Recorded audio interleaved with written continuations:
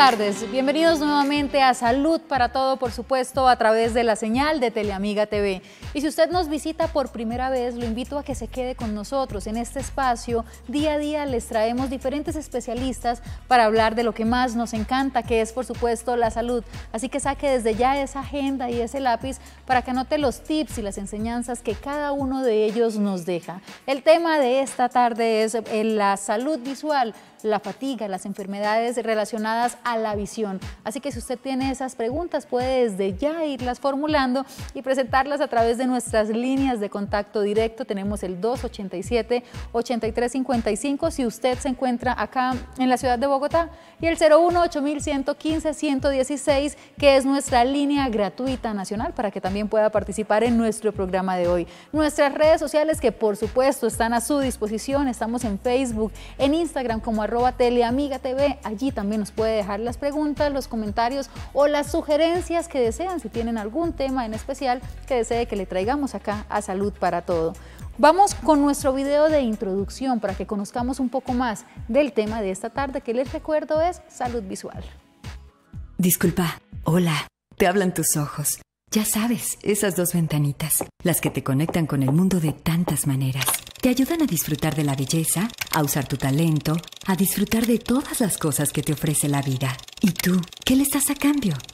No me malinterpretes, no estoy enojado, sé que me quieres, pero ojalá me lo demostraras mejor, porque tú sabes cómo cuidarme.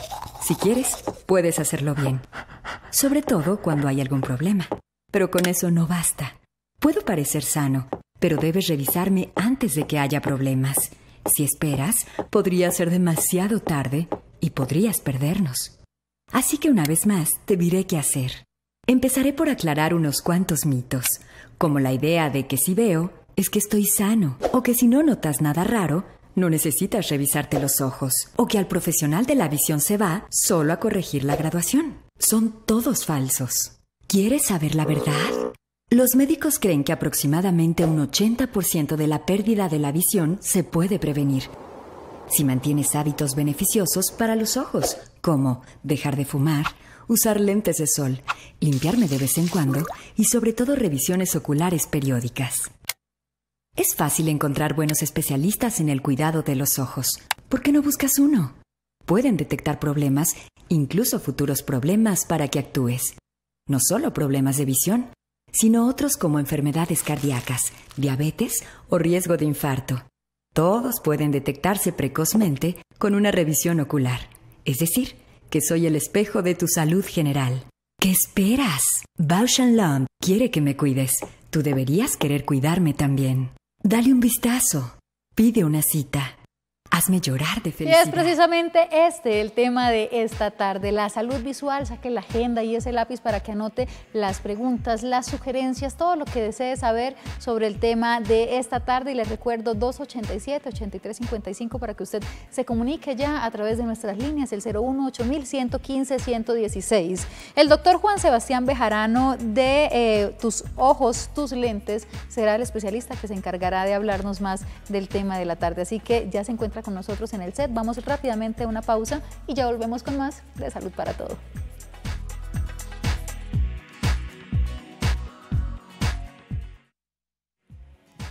Ya estamos con más de salud para todos. Si usted acaba de llegar a la señal de Teleamiga, deje el control quieto, no continúe canaleando porque el tema de esta tarde es la salud visual. Así que si usted quiere conocer un poco de las razones por las que ha podido ir perdiendo la visión, de qué es la miopía, el astigmatismo, de las afectaciones que puede generar, preste atención, el trabajo y los dispositivos móviles, el mismo televisor en nuestros ojos, pues este es el tema indicado para usted. Ya nos acompaña el doctor Juan Sebastián Bejarano, él es optómetra de tus ojos, tus lentes. Más adelante les compartimos sus redes sociales, su contacto, pero ahora está su perfil para que conozca más de su experiencia.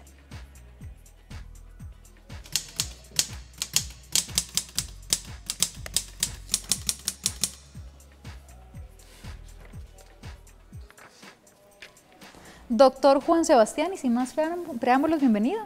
Muchas gracias. Qué rico poder estar acá para hablar de algo que, como decías tú, y lo vemos en el video de introducción, súper importante, hablar de los ojos, del cuidado de los ojos. Muy importante los ojos y a veces nos olvidamos de ellos, ¿no, doctor? Total. A veces no tenemos como eh, ese juicio de vamos a hacernos algunos exámenes de, todo el cuerpo, pero de los ojos como que los tenemos abandonados. Y desafortunadamente pues no tienen reemplazo. Entonces, cuando dejamos pasar mucho tiempo, hay algunas afectaciones a nivel ocular que pueden, cuando nos demos cuenta, nos acordemos, puede ser ya muy tarde y pues si no hay reemplazo hay que cuidarlos. Es importantísimo, doctor. Empecemos por un tema que me llama la atención y para los televidentes que de pronto tengan esa situación les puede interesar bastante y es la relación de lo laboral con la fatiga ocular eh, o la exposición permanente a todos los dispositivos, dispositivos que nuestra generación utiliza más que las anteriores, ¿no? Sí, así es. Uno a veces tiene pacientes que le dicen que ahora como que todo tiempo pasado era, era mejor, que antes las personas no sufrían de muchas enfermedades y que veían muy bien siempre, que veían bien de lejos, de cerca, etc.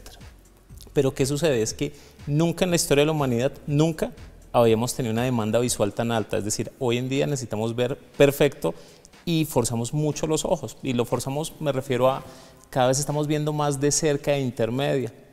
Y los ojos no están hechos para ver de cerca y a intermedia me refiero como a distancia de computador.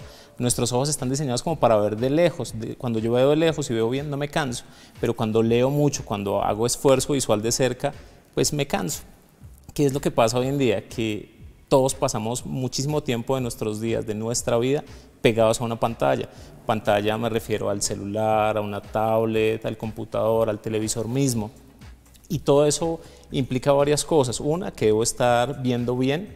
Si no veo bien eh, este tipo de dispositivos electrónicos, me ayuda a demostrar con cansancio visual, con dolor de cabeza, que no estoy viendo bien y que pasa algo. Y lo otro es que eh, la tecnología como tal, pues no es mala.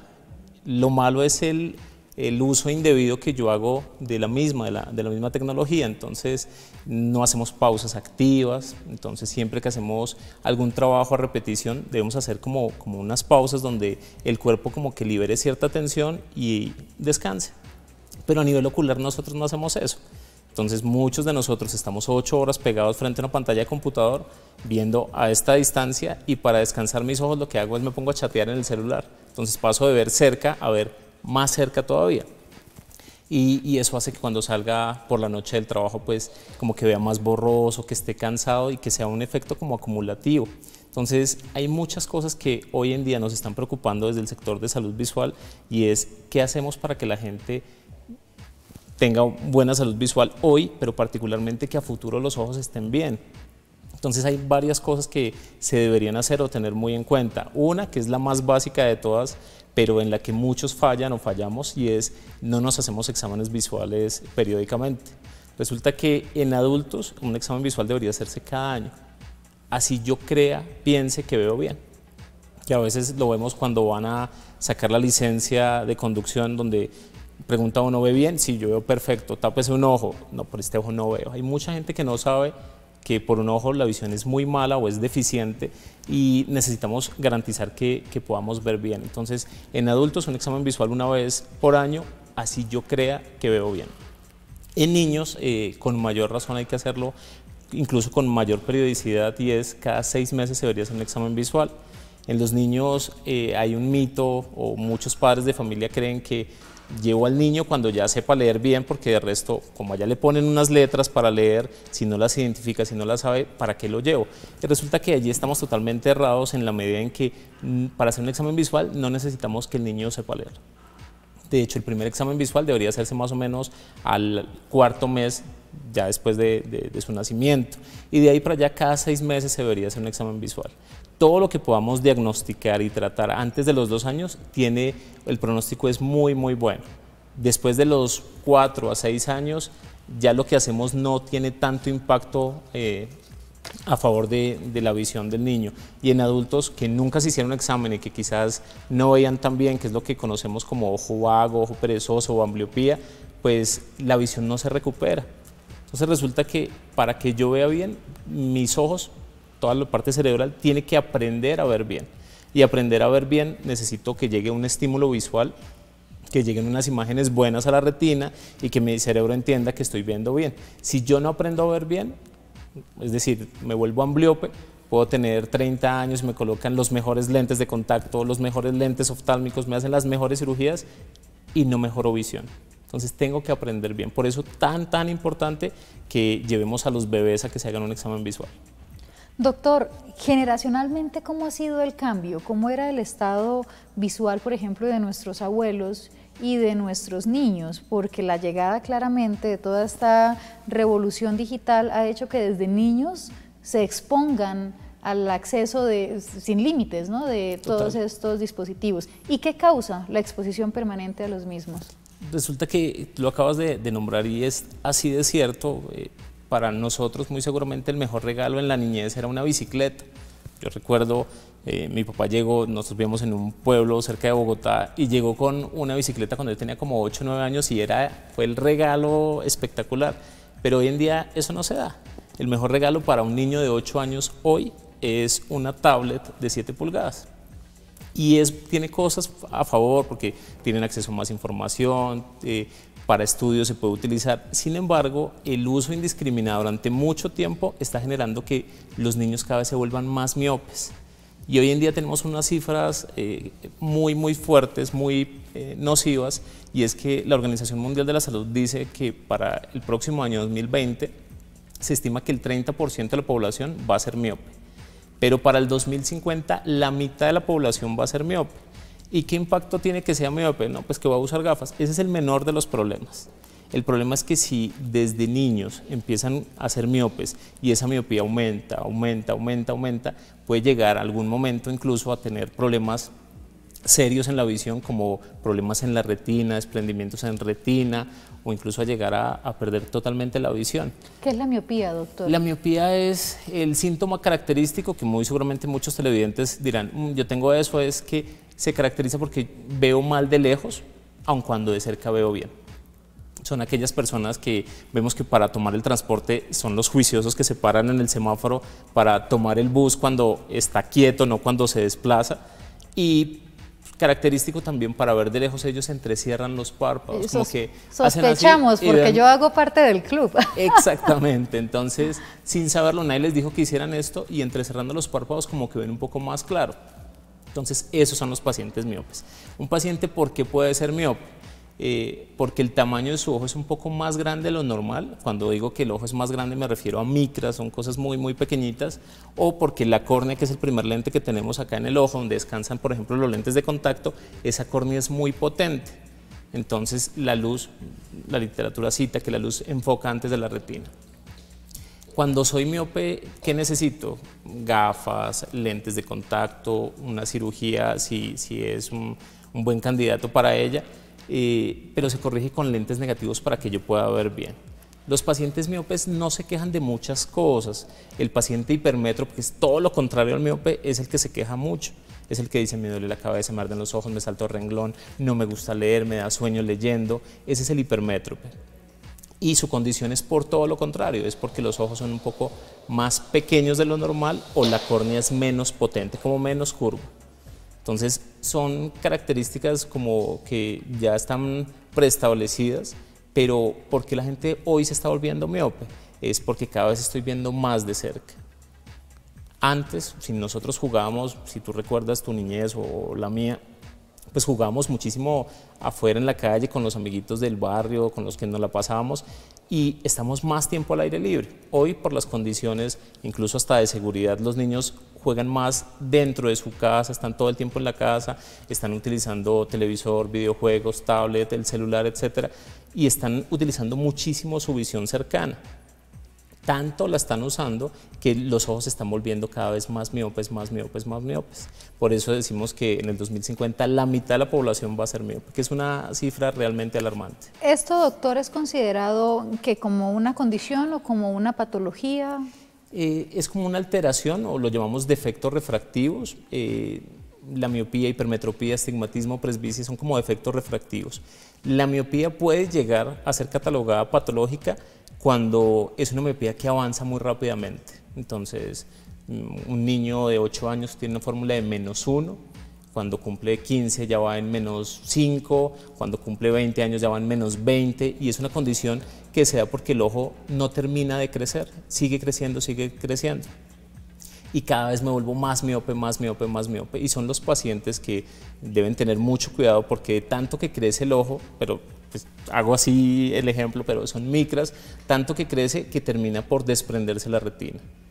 Eh, y pues no hay cómo pegar realmente esa retina, hay unos procedimientos donde se busca reubicar, pero, pero son procedimientos bastante complejos. ¿Qué es lo mejor que pudiéramos hacer todos? Prevención, que es a nivel de salud de cualquier cosa es lo, lo más valioso, eh, lo que más vale la pena realizar y es con los niños que podemos hacer, asegurarme que el niño vea bien, eh, no es simplemente que yo vea que como él no se estrella con las cosas, yo asumo que ve bien, eh, porque impacta incluso, por ejemplo, el rendimiento escolar. Entonces hay muchos niños que son eh, los desaplicados, los que no están juiciosos, no toman apuntes en, la clase, no hacen tareas y a veces los regañamos o los castigamos porque no son juiciosos, los tildamos de problemas de aprendizaje, pero a veces puede ser simplemente que no ve bien. Entonces un niño que está viendo al tablero y no alcanza a ver al tablero, pues se distrae porque si yo no veo bien allá empiezo a molestar con mi compañerito que está al lado. Entonces empieza a impactar muchas cosas. ¿Qué debería hacer entonces? Garantizar que el niño vea bien y para eso un examen visual.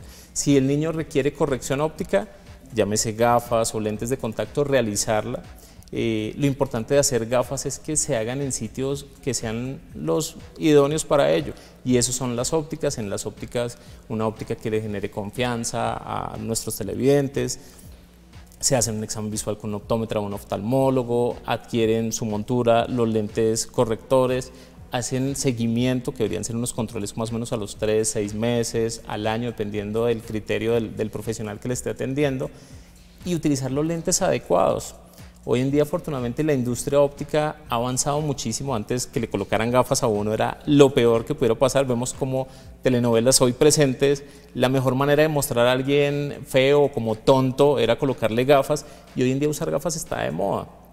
Entonces usar gafas es un accesorio más de moda. Entonces, si necesito que el niño use gafas, eh, el truco para que se las ponga es que yo no las escoja, sino que las escoja obviamente el niño.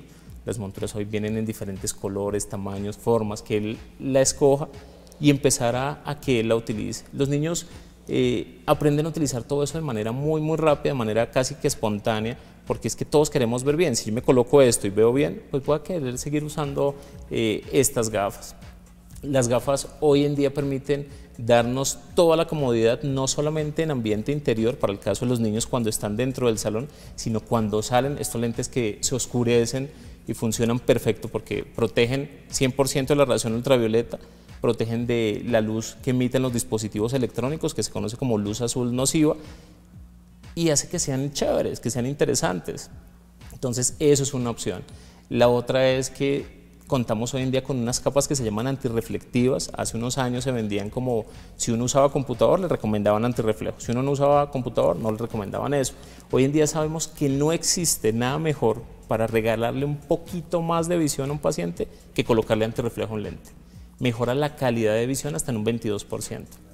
Entonces, eso me permite garantizar que el niño vea bien, que se sienta bien, que se vea bien estéticamente y que las gafas funcionen para las diferentes actividades que realizan los niños. Con los niños yo creo que tenemos un inconveniente y es que a veces desde el consultorio, a veces pensamos solamente en el niño estudiante pero no en el niño que juega y en el niño que va a educación física y hace otras cosas. Porque a veces le decimos a los papás, mire, estas gafas tiene que usarlas siempre que esté viendo al tablero. Y le damos un estuche rígido para que guarde la montura y que no salga con ella a la hora de recreo, de descanso o a educación física. O sea, es como si solamente me importara que el niño vea bien cuando está estudiando y el resto no importa que no vea bien. Y resulta, ¿qué pasaría con tantas figuras deportistas que afortunadamente tenemos en nuestro país? ¿Qué pasaría con un niño que quiere ser arquero, que solamente le doy gafas para ver al tablero y que sale educación física y no me interesa que vea bien? Un niño que tiene miopía, que no ve bien de lejos, ¿cómo va a ser arquero? Entonces es empezar a ver cómo hacemos para garantizar que el niño y pues obviamente todos nosotros veamos bien en las diferentes actividades que nosotros realizamos, sean estas eh, para el caso de, adultos de ocupación eh, u oficio, sino también de pasatiempo. Hoy en día estamos viendo eh, algo muy interesante y es que está muy de moda el ciclismo en, en nuestro país por tantas glorias que tenemos representándonos pero no buscamos protegernos. Entonces ya en la parte dermatológica nos cuidamos mucho, entonces si voy a salir a ciclovía me aplico bloqueador y estoy perfecto, pero los ojos no, los ojos no importa. Y resulta que la radiación ultravioleta causa muchas cosas nocivas a corto, mediano y a largo plazo en nuestros ojos que deberíamos cuidar. ¿Cómo las puedo cuidar? Con unos lentes eh, de sol. Existen unos lentes que son especiales para estar afuera, que son lentes polarizados. Eh, tenemos lentes de estos que decía yo, que se aclaran, que oscurecen, eh, tipo transitions, que funcionan bien para, para esto. Hoy en día tienen hasta capas espejadas que hacen que sea más cómodo. Entonces, a veces yo creo literalmente que nos falta más a nosotros eh, tener la conciencia de cuidarnos, porque de resto todos los elementos están dados. Afortunadamente, ¿cuántas ópticas hay en el país? Afortunadamente hay muchas, tenemos muchos profesionales supremamente eh, idóneos para realizar muy buenos exámenes, tenemos todos los medios de corrección, necesitamos es que los pacientes sean más juiciosos y acudan. ¿Qué pasa, doctor, si desde niños no se usan las correcciones de manera oportuna y quería saber si alguna de estas alteraciones como la miopía, el astigmatismo y todos los nombres técnicos que ustedes pues por supuesto se saben pueden llegar a un punto tan grave como una pérdida de la visión considerable y hasta la ceguera. Sí. Eh, ¿Qué pasa? Si yo no veo bien, voy a tener problemas de niño, desde aprendizaje, en adulto la productividad. Desafortunadamente en Colombia no medimos tanto eso. En Estados Unidos miden como más de 5 billones de dólares se pierden año a año porque la gente no ve bien en su trabajo. Entonces, si yo no veo bien, pues eh, no me desempeño como pudiera desempeñarme en mi trabajo. Si el niño no ve bien, el problema es que se puede volver ambliope, que es lo que conocemos como ojo perezoso ojo vago, y eso a futuro, pues nunca voy a recuperar bien la visión por ese ojo que, que es el ojo perezoso. Eh, otras condiciones también están dadas por unas patologías sistémicas como eh, si sufro de diabetes o hipertensión. Hay muchas enfermedades que desafortunadamente son muy silenciosas como el glaucoma, que es que se aumenta la presión intraocular, entonces es como ser hipertenso, pero particularmente la tensión dentro del ojo, que empieza a notar el paciente que pierde campo de visión hacia la periferia. Entonces yo empiezo a aquí no veo, aquí no veo, como que empiezo a tener una visión tubular. ¿Y el paciente se da cuenta o, eh, o no lo Desafortunadamente no se da cuenta tan fácil. Cuando se da cuenta ya ha pasado mucho tiempo y ya el tratamiento no es tan eficiente. O sea, es decir, cuando era más joven o años atrás veía ampliamente y después solamente ve Ves, solo así, terminan con una visión que llamamos tubular y es que literalmente yo veo como entre un tubo eh, y no me doy cuenta. A veces cuando me doy cuenta son estadios más avanzados donde muchos pacientes sienten que, con lo que refiere un paciente es que como que le están chuzando, dicen me están chuzando el ojo como por dentro, siento como una aguja que me estuviera tallando.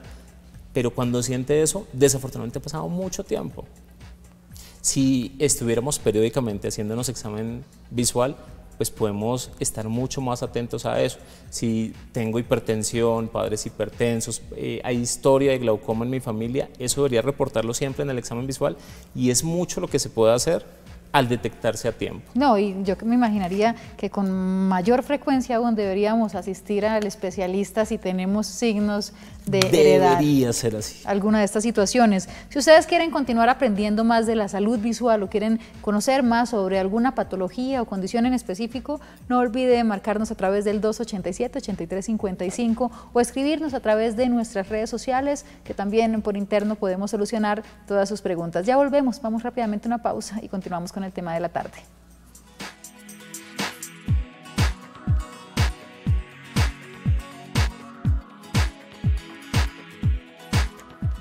Salud visual, hoy en Salud para Todo, de la mano del doctor Juan Sebastián Bejarano. Doctor, ¿ya cuántos años pues en todo este gremio? Eh, bueno, yo empecé a trabajar antes en el gremio, antes de haber estudiado optometría. Eh, llevo 21 años trabajando eh, como en la parte de laboratorios oftálmicos y egresado ya hace 14 años. ¿Dónde tiene su consultorio? No trabajo tanto en la parte asistencial, sino para un laboratorio oftálmico. Nosotros producimos los lentes para la mayoría de, las ópticas en el país. O sea, está inmerso en la tecnología completamente. Afortunadamente sí, y lo interesante es que este mercado avanza muy, muy rápido. Y algo muy interesante que, que tiene a favor Colombia es que, eh, uno, tenemos optometría reconocida en Latinoamérica, o sea, uno va a diferentes congresos en, la región y la optometría en Colombia es reconocida como la mejor. Eh, oftalmólogos maravillosos también, entonces tenemos Optometría, qué pena, doctor, optometría y oftalmología, ¿son cosas distintas o cómo funciona? Total, a veces desconocido un poco y es, eh, ¿qué es optometría? Es una profesión eh, de la salud donde la persona estudia cinco años eh, esta carrera, es como una carrera paramédica o hace parte del, sector de salud. Eh, ¿Y qué hace un optómetra? Hace varias cosas en prevención, algo que llamamos cuidado primario, que es toda la parte del segmento anterior, que es como la parte del ojo que yo puedo tocar. Eh, podemos prescribir medicamentos de uso tópico, gotas, ungüentos para conjuntivitis, todo como lo que afecta a la parte que yo puedo tocar de mi ojo. Y lo que está por dentro de mi ojo eh, ya es campo del oftalmólogo. El oftalmólogo es un médico eh, que se hizo un médico general y hizo una especialización en ojo. Entonces son profesiones totalmente complementarias. Eh, por citar un ejemplo sería como psicología y psiquiatría, donde tienen campos de acción que se complementan. los optómetras y los oftalmólogos afortunadamente trabajamos como muy de la mano para la parte de cuidado primario y pues de patologías. tenemos que ir a la consulta ambos. Eh, pues casi siempre asistimos primero a optometría, y si se requiere, si tienen alguna patología o es algo de cirugía, se remite, a, ah, oftalmología. Tenemos a esta hora de la tarde a Neisa en la línea de salud para todos y si ustedes quieren participar también y realizar preguntas, recuerden que está el 287-8355 y el 018-115-116. Neisa, bienvenida a Salud para Todo y cuéntenos qué pregunta tiene. Buena tarde para preguntarle al doctor que sobre las cámaras estrechas y la presión en el ojo, gracias. ¿Le comprendimos bien, doctor? sobre la presión en el ojo, le entendía lo último, la otra parte no, no alcanza a escucharla bien. Bueno, eh, no sé si tenemos a Neisa todavía en la línea para que nos repita la pregunta. Se nos fue, pero la tenemos. Ah, bueno, ahí la tenemos, Neisa, gracias. Repítanos la pregunta para que el doctor la entienda mejor. Para saber sobre en el ojo y la presión. Bueno, seguimos en las mismas, doctor, pero entendamos un poco sobre la presión en el ojo, que muy seguramente está de pronto relacionado con el glaucoma directamente. Perfecto. Eh, para hacerlo como más, eh, con un ejemplo, resulta que dentro de mi ojo tenemos unos líquidos. Un, un líquido de esto se llama moracoso, que se produce y va saliendo del ojo. Entonces es un ciclo, entra al ojo, sale del ojo. La tenemos, doctor, cámaras estrechas. Ah, ok, perfecto. ¿Qué es eso? Eh, se llama como cámara estrecha o cámara panda y es la configuración de mi ojo, lo que estaba citando que entraba líquido y salía líquido. Cuando la cámara es estrecha, como que, imaginémonos todos que hay como un sifón y ese sifón como que cuando la cámara es estrecha, ese sifón se está como estrechando, cerrando un poco. Cuando se estrecha esto, pues está saliendo menos líquido. Quiere decir que si yo coloco una piscina, la piscina está llena, yo abro una llave, le está cayendo agua a la piscina, abro un poquito el sifón, pues no va a pasar nada, el nivel se mantiene porque si entra la misma cantidad de agua que está saliendo no pasa nada. Pero si el sifón yo lo cierro un poquito, pues en el caso de la piscina se rebosa. En el caso de nuestro ojo, ¿qué sucede? Si la cámara expanda, el sifoncito por donde sale el líquido, pues se estrecha y se aumenta el, como el líquido que está dentro del ojo.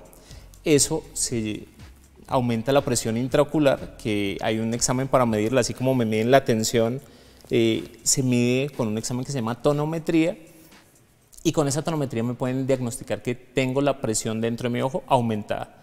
¿Ahí tengo glaucoma? No. Ese es uno de los puntos a tener en cuenta. ¿Qué hacen más? Hacen una exploración, hacen una revisión muy profunda de mi ojo, donde se revisa si hay algunos hallazgos que puedan ser por ese aumento de la presión intraocular. Cuando se aumenta la presión dentro del ojo, eh, recordemos que el ojo es como una bolita que mide 24 milímetros, por lo que de aquí de mi ojo sale como un cable con la información que es el nervio óptico. Y ese nervio óptico lleva toda la información aquí a, a la parte de atrás de mi cerebro, que es donde realmente se da el fenómeno de la visión. Cuando se aumenta la presión dentro del ojo, como que ese cable que está sacando toda la información se empieza a dañar hacia la periferia. Por eso decimos que empiezo a perder campo de visión hacia la periferia. Eh, ¿Qué es lo que debería pasar? Necesito o cerrar un poco la llave o abrir más el sifón. Cerrar un poco la llave es un medicamento que prescribe el oftalmólogo, eh, que es mejor que se me olvide almorzar pero no aplicarme el medicamento eh, para que se produzca menos ese líquido, ese humor acuoso.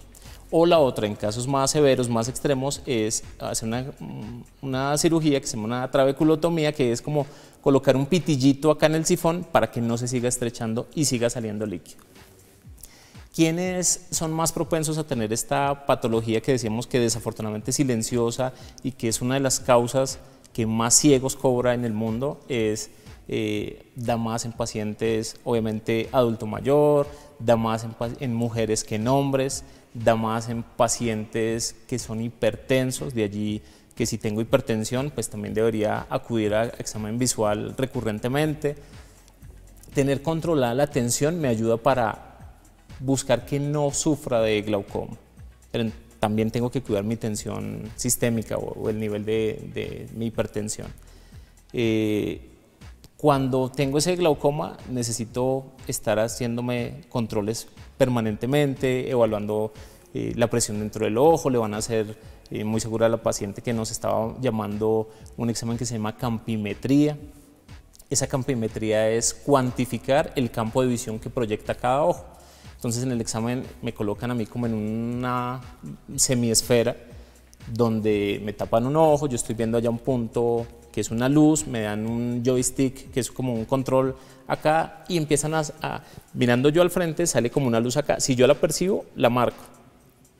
Y marco pues obviamente las luces que vea. Y dependiendo de eso el examen lo que va a dar como, como resultado es que me permite identificar el campo de visión real de un paciente y si hay unas zonas que se llaman escotomas que son puntos ciegos o puntos por donde mi paciente no ve. Del glaucoma es característico que empieza a cerrarse, entonces yo empiezo a notar que mi campo de visión efectivo es solamente este. Yo aquí no veo. Entonces, si hay y una el persona paciente acá, no, percibe, entonces. No percibe. Entonces, imaginémonos el riesgo que puede ser, por ejemplo, para una persona que tiene glaucoma y que conduce o quien va a cruzar la calle de pronto en la periferia no lo ve. más, Tenemos desde Tunja a Esperanza. Esperanza, bienvenida, salud para todo y cuéntenos qué pregunta tiene para nuestro especialista invitado. Buenas tardes, doctor. Buenas tardes. Cuéntenos, Esperanza. doctor, mira, tengo hace más o menos unos ocho meses, de repente el el ojo derecho aparece inflamado y rojo. Y pues me duele. Pero veo, pero igual, no sé, de repente se pone rojo e inflamado. ¿Y ya pudo asistir a consulta con un optómetra, con un oftalmólogo? ¿Ya acudió a un examen? No, no, señor. Por acá es difícil uno que lo atienda un médico. Bueno, allí, bueno, con esa información, pues desafortunadamente no, pues, no podemos saber muchas cosas, pero algo que nos sirve para, para tocar un tema que es muy importante y es el ojo rojo. El ojo rojo sería como un dolor de cabeza. A veces hay personas que les duele la cabeza todos los días y pues si a mí me duele la cabeza, pues me tomo la pastilla para el dolor de cabeza. Y entonces tengo en la mesita de noche, en el trabajo, todo el pastillero y tomo todos los días para el dolor de cabeza. Lo importante allí, de hecho, lo menos importante es el dolor de cabeza, porque lo que hay que revisar es qué es lo que está causando o cuál es el origen de ese dolor de cabeza. El ojo rojo, el ojo rojo es algo parecido. ¿Por qué se puede poner un ojo rojo? Muchísimas, montones de, posibles causas. ¿Qué es lo relevante allí? Identificar por qué el ojo se pone rojo puede ser glaucoma, que es una condición, puede ser alergia, hay pacientes que hacen conjuntivitis alérgicas a muchas cosas, diferentes alergenos. Hay personas que son alérgicas al sol, al viento y a la tierra. O sea, toda su vida van a tener ojo rojo. Entonces, como sabemos, las alergias no se curan, pero sí se tratan, que es como eh, tratar de minimizar la sintomatología que es cansona para, para el paciente. Puede ser un terigio, pueden ser muchas cosas. Eh, para eh, Doña Esperanza en Tunjal, ¿qué es lo interesante o lo realmente importante? Que no se acostumbre a vivir con eso porque lo peor que a veces nos pasa es que nos acostumbramos a una condición visual o, en general. Si me acostumbro a verme el ojo rojo, pues sí, ya me acostumbré, no, no tiene por qué acostumbrarse a eso. Tiene que ir a un examen visual y revisar a ver qué es lo que sucede. Con el ojo rojo pasa otra cosa que hay que tener mucho cuidado y es a veces nosotros, eh, si no me puedo hacer revisar mis ojos rápidamente, lo que hago es voy a la farmacia y me dan un medicamento que lo que hace es que me aclara los ojos. Entonces, si tengo el ojo rojo, me aplico unas goticas y me queda el ojo ya clarito, normal. Si yo uso esas gotas muy de vez en cuando, no pasa nada. Pero el inconveniente de esas gotas, que son vasoconstrictores, que cuando mi ojo se ve rojo es porque hay unas venitas dilatadas, lo que hacen esas gotas o esos fármacos es que hacen más delgaditas esas venas. Entonces yo me aplico ese, medicamento y se me ve el ojo clarito. Al hacerlo recurrentemente, cuando me empiezo a acostumbrar a todos los días aplicarme eso, esa es una de las cosas que puede incluso llegar a generar glaucoma. Entonces, no es de acostumbrarme, no es de ir simplemente a la farmacia a ver qué me dan para el ojo rojo, sino examen visual. Además, la autoformulación ¿no? de todo, o sea, de medicamentos y de los mismos lentes o gafas que a veces decidimos ir a comprarlas de, con iniciativa propia, considerando que de pronto estas son las que me funcionan, sin el asesoramiento de un especialista, ¿no? Así es. Doctor, hablemos un poco de las famosas cataratas. Bueno, las cataratas es una condición que está por varias cosas. ¿Quién le puede dar catarata? O primero, mejor, ¿qué es catarata? Es dentro de nuestros ojos tenemos un lente que se llama cristalino. Ese lente es súper importante porque se encarga como del zoom de nuestros ojos. Si yo tengo una cámara fotográfica, voy a tomar una foto de lejos, pues eh, obturo y ya está. Si voy a enfocar algo de cerca, se pone, eh, la cámara tiene unos aumentos que es lo que llamamos el zoom de 4X, 6X, etcétera. E igual pasa con nuestros ojos. Cuando yo estoy viendo de lejos, ese lente que tengo, el cristalino, está así, delgadito. Pero cuando yo quiero ver algo de cerca, ese cristalino se abomba o se hace más gordito para que yo enfoque de cerca. Y eso es lo que hago toda la vida, todos los días. Si yo veo aquí qué hora es, automáticamente mi cristalino es, hizo eso. Si veo de lejos, se vuelve delgadito. Tanto hacerlo hace que a futuro nos volvamos presbitas, que ese es otro tema eh, del cual hablaremos ahora, pero ese mismo lente se opacifica o se vuelve como blancuzco y eso es la catarata. O sea, ¿qué es catarata? Opacidad del cristalino. ¿Por qué se da esa opacidad del cristalino? Por varias causas.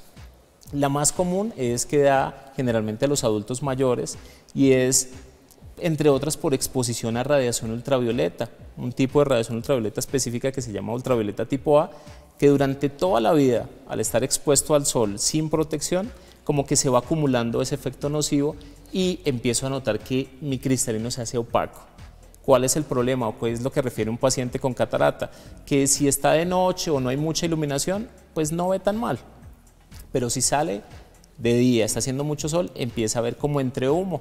Entonces los pacientes refieren como que ven como si estuvieran entre humo, entre, como una, entre nubes y la visión es muy mal. Si el lente que está dentro de mi ojo está sucio, por más lentes que yo ponga aquí afuera, pues no hago nada porque por dentro hay un lente sucio que no me deja entrar bien la luz a mi ojo. Entonces allí se practica una cirugía los oftalmólogos harán una, cirugía para quitar ese cristalino que está sucio, que está opaco, y lo colocan un cristalino artificial que se llama un lente intraocular.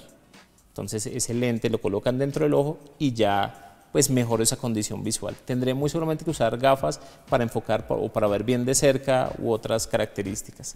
¿A qué otra persona le puede dar catarata? Cuando eh, las madres, cuando una mujer está embarazada y le da, por ejemplo, sarampión, rubeola, el niño puede nacer con catarata. Entonces, cuando tiene catarata congénita, pues esto será un inconveniente, tendrán que sacar eso para evitar que el niño le dé ambliopía, por lo que decíamos hace un rato. ¿Qué otra persona? Una persona diabética. ¿Esto se podría heredar? No es una condición que se, pueda, que se pueda heredar, pero si durante el periodo de gestación tuvo sarampión, muy seguramente sí. Las probabilidades, las probabilidades son altas de que tenga catarata congénita o que nazca con esa catarata. Un paciente diabético cuando su glicemia no está estable eh, puede llegar en algún pico bastante fuerte de, su nivel de glicemia, de, de azúcar en sangre y puede generarse una catarata. O un accidente de tránsito, algún golpe muy fuerte, sean cataratas traumáticas por eso. Entonces hay diferentes condiciones. Es la cirugía más practicada en el mundo a nivel oftalmológico, es la cirugía más practicada, entonces si alguno de los televidentes que, en este momento nos está viendo, escuchando, si le tienen que hacer una catarata, puede estar tranquilo. Eh, nuestro sistema de salud tiene cobertura de eso, se la van a hacer. El posoperatorio, ¿qué cuidado de tener? Pues no hacer fuerza, le van a pedir que no se agache tanto, eh, seguir las recomendaciones del oftalmólogo, aplicarse unos medicamentos que son unos antibióticos y unos antiinflamatorios como preventivos y le va a ir muy bien. Hoy en día eh, la cirugía de catarata es supremamente controlada y el diagnóstico, pronóstico es muy, muy bueno. Doctor, en muchas ocasiones le echamos la culpa del dolor de cabeza a los ojos y es altamente probable dependiendo cómo me duele la cabeza. Entonces, dolores de cabeza que empiezan aquí como en esta parte de la frente o cefalea frontal, generalmente sí están asociados a dolor de cabeza.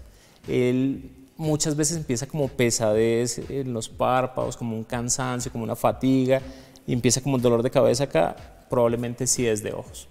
Entonces es un esfuerzo visual porque a esos pacientes que les tienen esos como dolores de cabeza van a notar que son recurrentes o que son frecuentes y que como por arte de magia el domingo cuando no trabajo no me duele la cabeza. Entonces sí están altamente asociados a ojos. Nos hablaba anteriormente, doctor, de que hay ejercicios estimulantes para la visión. ¿Cuáles podríamos de pronto para los televidentes que nos acompañan a esta hora poderlos practicar desde casa o necesariamente debe ser con el especialista? Eh, Obviamente la idea es que sí se haga con, un especialista, pero algo que podemos hacer que nos va a ayudar a todos es eh, hacer ejercicios de relajación y es ser consciente de ver algo que esté aquí muy cerca y algo que esté lejos. Entonces cuando yo hago eso lo que estoy haciendo es activando la acomodación o poner a trabajar mucho mi cristalino y cuando veo lejos a que él se relaje. Eh, hacer esto, eh, lo otro es hacer ejercicios de diferentes posiciones de mirada extrema, entonces mirar bien, bien, bien hacia la derecha, bien hacia la izquierda, hacia arriba, hacia abajo, eso nos puede ayudar. Y lo otro es hacer pausas activas. Entonces, una persona que en una empresa hace un trabajo a repetición, para, por lo menos dos minutos, se estira, necesitamos como estirar los ojos. ¿Cómo hago para estirar los ojos? Y es, eh, la FDA recomienda algo que se llama el 20-20-20 y es cada 20 minutos de trabajo en visión prolongada o visión de cerca, yo debería descansar mis ojos por lo menos 20 segundos viendo una distancia de 20 pies o más. 20 pies es como el equivalente en metros a 6 metros. ¿Eso qué quiere decir? Que yo estoy trabajando en mi computador y cada 20 minutos, o por lo menos cada media hora, yo debería decir, voy a descansar mis ojos. Pero descansar no es chatear, descansar es ver de lejos. Lo más lejos que yo pueda, por lo menos 20 segundos. Cuando yo hago eso, estoy asegurando que mis ojos están relajándose para que el sistema acomodativo sepa cuándo hacer eh, su función extrema y cuándo relajarse. Y eso ayuda, entre otras cosas, a prevenir que me vuelva cada vez más miope, más miope, más miope. ¿La miopía se puede ir recuperando o ya lo que no veo de lejos y borroso? Eh, no, desafortunadamente es una condición que generalmente pues va aumentando. O sea, corrección de ahí en adelante y evitar. ¿Qué estamos buscando hoy en día? Hoy en día estamos hablando es de control de miopía. El control de miopía, que es en lo que está avanzando mucho todo el tema de, en, en nuestra industria, está buscando, no se puede frenar totalmente la miopía, pero necesitamos que la progresión de la miopía sea lo menor posible. Es decir, un niño de cuatro años que es miope, si tenemos dos hermanitos miopes, los dos de cuatro años, si a uno no le hacemos nada, muy seguramente ese niño, los dos niños tenían menos uno a los cuatro años. A los 16 años puede llegar a ser menos siete el niño que tiene esa miopía sin que yo le haga nada. Al que yo le hago control de miopía, espero que a los 16 años tenga por ahí menos cuatro. Y el aumento, digamos que está la diferencia. Que logre estabilizar un poco el defecto. Vamos a pausa y si ustedes tienen preguntas, así como Esperanza, pueden también participar sobre cualquier condición o patología. Por fortuna tenemos a un especialista que nos ha hablado en términos generales de lo que es la salud visual. Ya volvemos con más de salud para todos.